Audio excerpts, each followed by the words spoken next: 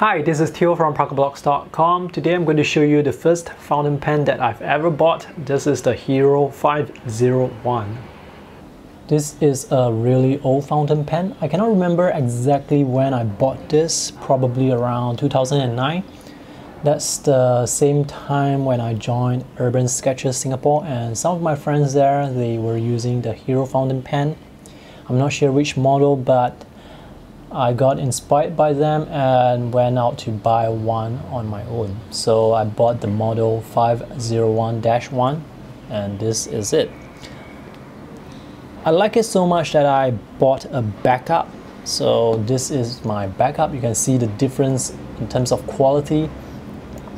Now the first pen that I have, the surface finishing is not as good it's like it's lacquered or something. You can see this um, surface finishing. It's not as smooth compared to this pen here. So the quality control is a bit inconsistent. This is the clip and this is how the surface finishing looks like. Compare that to the other one that I have. So this is sort of like almost glossy but this is like it's painted on the model number is carved here, 501-1. There are different models of Hero fountain pens and different models have different numbers. They are all carved around the cap area. And this is the logo.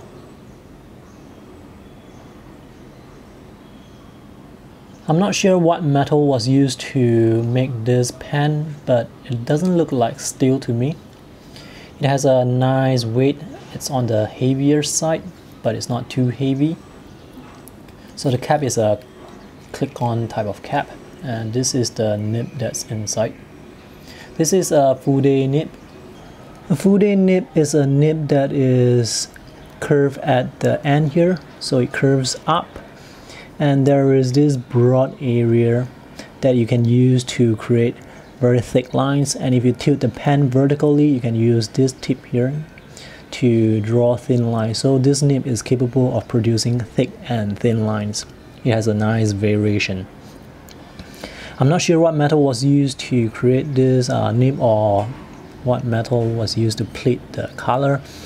Here it says Hero 22GF and that's the logo. Let's take a look at the feed section behind. So it looks something like this. If you want to dismantle the nib from the grip section, you can actually just pull it out. It's a bit difficult to pull out. Just twist it very slightly and pull it out. So this is how it looks like. So you can actually clean the pen more thoroughly by dismantling it. And when you want to put it back, just make sure that the nib it extends out like this press it down and just push it back. Alright this is back in. If there is misalignment like this line here is not centered then you have to dismantle this and rearrange it and put it back. But it's really uh, very easy. Let's take a look at what's inside Oh, mine doesn't come with a converter because I took it out. The Hero fountain pen comes with an ink converter. So the one that I have here is a plunger type. Sometimes it may come with the twist type converter. This by the way is another model of Hero pen. You can see the Fude nib as well. These converters, uh, they are interchangeable The one with the plunger may actually hold less ink, but it is more convenient to use because um, in one swift movement you can actually suck up the ink quite quickly as compared to this where you have to twist a few times. I think this converter is sometimes called the piston converter. I prefer that one so I'm going to use it today with my Hero 501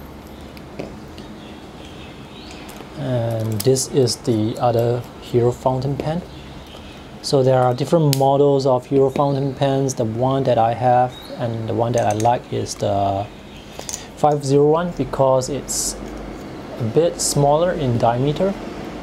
Alright, let's fill this pen with ink and see how it performs. By the way, I'm not using my old fountain pen because it's clogged beyond repair, so now I'm using the new one. So it's really easy to refill ink with this converter. If I'm not wrong, the Fude nib was originally designed for Asian calligraphy, for example, to write words like this.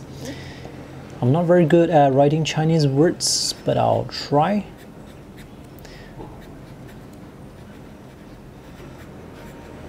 So you can see the lines are very thick and these words they actually mean art pen.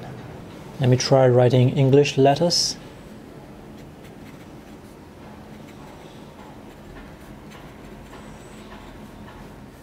So the nib is able to create broad strokes and thin lines. So here you can see this line here is broader compared to this vertical line. And here it changes, the thickness, it changes slightly. If you make a more conscious effort to tilt the pen, then you can get more variation. Uh, for example, now I'm writing with the tip of my pen. And as I tilt it downwards slightly I'm using the broad side of the Fude nib to get the very thick lines. And usually when I'm drawing with this pen I don't really pay attention to how I'm holding. I just use it as per normal let me do a quick sketching demo with this pen.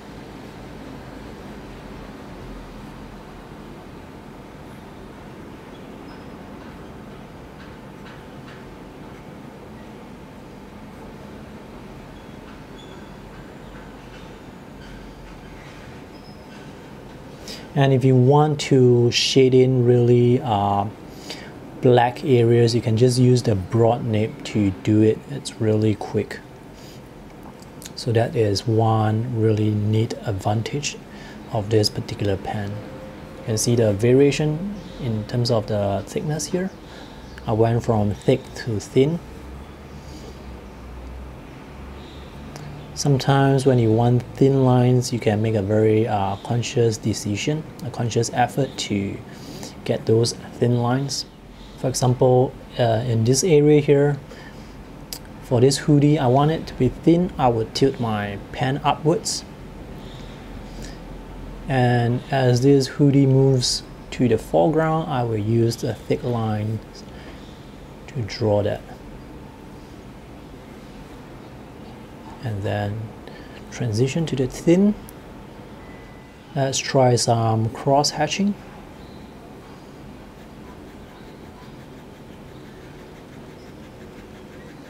the ink flow is quite good and for cross hatching I like to use the tip for the thinner lines and for the hair perhaps I'll use the broad strokes to um, just draw so I can create lots of interesting patterns. Of course, when using the broad side of the nib, this is going to use up more ink. So this pen, it tends to use up ink uh, quite quickly. The lines that this pen can create, it's really expressive. I really like it. Compared to fountain pens that only give you the medium or the fine nib, I can get variations here and that variation really makes the sketch look uh, more interesting and also because there is this um, unpredictability sometimes you don't know whether the, or not the ink will the lines will be darker or thinner and it makes it really more fun I can also turn the nib around and draw uh, really thin lines